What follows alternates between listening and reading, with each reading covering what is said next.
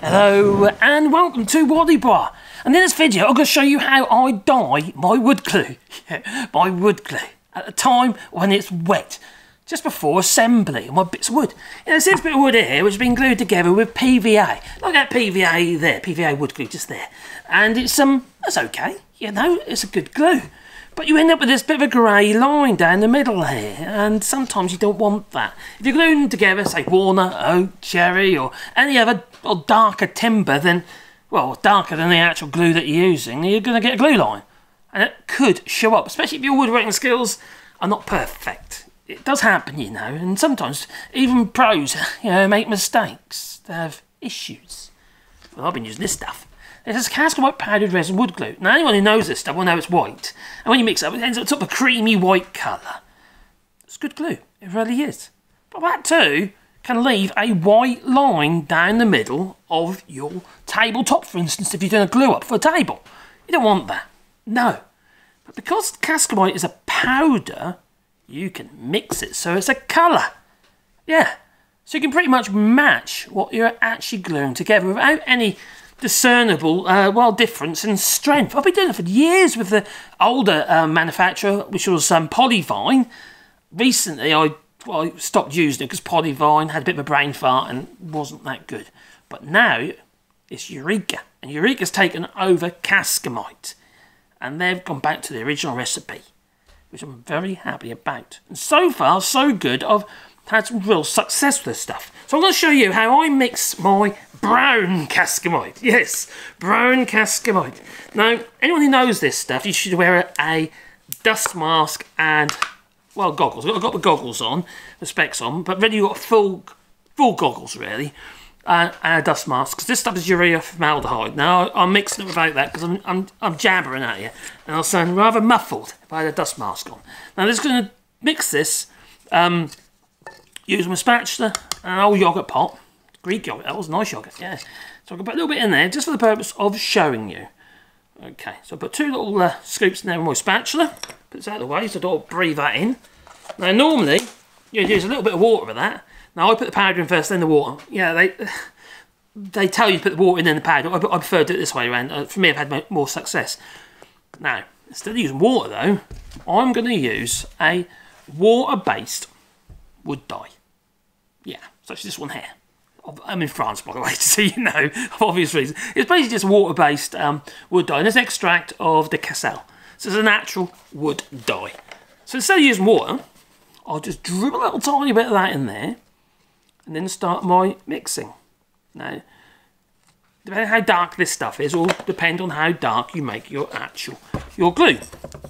So I've just dribbled a little bit in there like so, then I'll start the process of mixing the glue.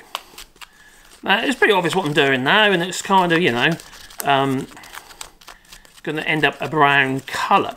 Now, you have a choice now. You can either add more of this, so it ends up being the colour of the dye, or let's say, for instance, your timber is a little bit lighter than oak, which is what this one is. It's sort of a, more of a dark oak colour. This one is actually if you use it in its you know in its neat form. Uh, but you could actually water it down a little bit with a little bit of water at this stage, like you would mix it normally. I'm not going to. I'm going to make it a dark just so you can see what I mean. So I'll put a little bit more water in there, or actually wood dye in there, and then we'll um, give it another bit, bit, of a mix.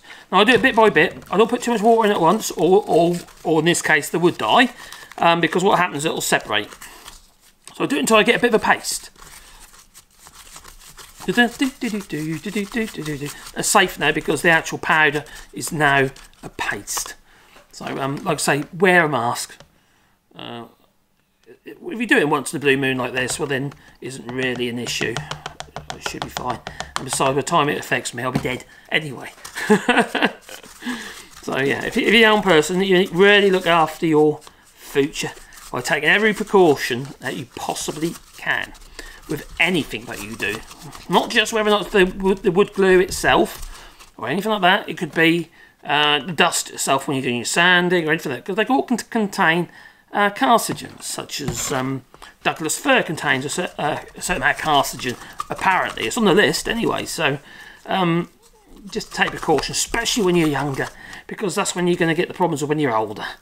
Yeah, it's not great. Like my dad. Yeah, Okay, so now I'm mixing it up and it's becoming quite a thick paste now. So I'm going to put some more in there, as you can see. And I'll probably, I might actually add a little bit of water in there this time instead of the, the dye because it's extremely dark at the moment.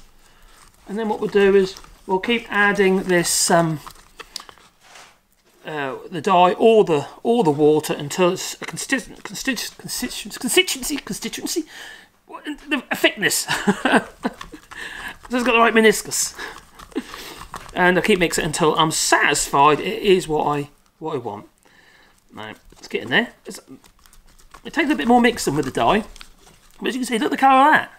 So that is almost like a dark, like a walnut colour. Works brilliant. I've used it so many times like this, and it doesn't affect the actual strength of the glue. Well, for me it hasn't. I haven't noticed any discernible difference whatsoever. The only discernible difference I got was when Polyvine, when it was Polyvine, thought it was a good idea to um, change the recipe, and that was not a good idea. They ruined it. Now, luckily, Eureka has got hold of it, and they've returned to the original recipe. Now, I've suggested to um, the, the, salesperson at um, uh, Eureka, maybe you should think of some additives for your powdered resin wood glue. Because woodworkers who do furniture work and what have you, not just people who do construction work, you know, for outside wood glues, what have you, they might actually like to have a coloured glue. Mm. Now the beauty about Cascamite is it sands really well. Dust mask again, don't forget. Um, but it sands really sands sands very very well because it's hard. So you can make a really good filler with it as well. So you can do exactly the same with a wood dye, a bit of sawdust and what have you, and then you've got a, a coloured filler. A very strong coloured filler that sands really easily to a nice smooth finish. It's good stuff, I'll tell you, it's really versatile. You know, the other things I've used this Cascamite for is also for finishes. All my workbenches up here, including this one, is actually finished in Cascamite. You mix it up, you splosh it around all the place, you scrape about, let it go off, and you've got a resin finish. It's not shiny, it's a bit of a luster, but it's protective. And it works. Crazy, I know, isn't it? Good stuff, this old Cascamite, you know. That stuff here. Actually, got a big tub over there, yeah. Just let you know, that's um, Eureka that sent me these glues over, so just, you know, um, they're not sponsoring me or anything like that, other than the fact they've sent me glues. So, is that sponsorship? I suppose maybe it is, I don't know. Um, anyway, I don't mind promoting a product that I've always believed in, because I've always used it in the boat building game, but also now you could use it in your furniture as well. So if you had to put a walnut together, yeah, walnut boards, gluing up edge to edge, and you've got a glue line, argument's sake, let's say she's done the right thing, got tight on the ends, a little bit, you know, um, slacker in the middle, tiny, tiny, tiny, tiny amount of fat or whatever, and uh, and then you've got this stuff, you ain't gonna see that glue line, are you? No, not when you glue, it's that colour. Do you know of any other glues that are that colour? Hmm? That's ideal for that purpose. If you, if you didn't, I know, I, I said you wouldn't use the sort of glue for marquetry and what have you, but yeah, you could get away with the murder, couldn't you? anyway, that's Cascamite, powdered resin wood glue, and that is my coloured wood glue that I've made using this, oh, a Bordeaux Noir. noir. Yeah, basically, nah. Cassel, the base of Cassel. That's what I've used any water-based wood dye will work. You can't use solvent-based, it's got to be water-based wood dye. And, you know, because it's, it's, a, a water-based hardener, effectively. The, you know, it's, a, it's a bit like the stuff they, they use to uh, bandage your legs up with, where they stick those bandages in a bucket of water and sends all the resin off, you see. That's what this stuff is, basically. So there you go, the cascamite in your legs. so, okay, so there you go. That is my coloured wood glue. And tell me what you think. Do you think I'm absolutely bonkers? Yeah, possibly, but you know, it does work, you know, and that's what I've been doing for donkey's years. I'm just glad that the glue is back to how it used to be. So, yeah, Castle. I'll leave a link down in the description down below if you want to get yourself some, what have you. Um, but it's really good stuff. Anyway, I'm going to say ta-ta, you know. So ta-ta, but remember to wear a dust mask. Do as I say, not as I do. Ta-ta.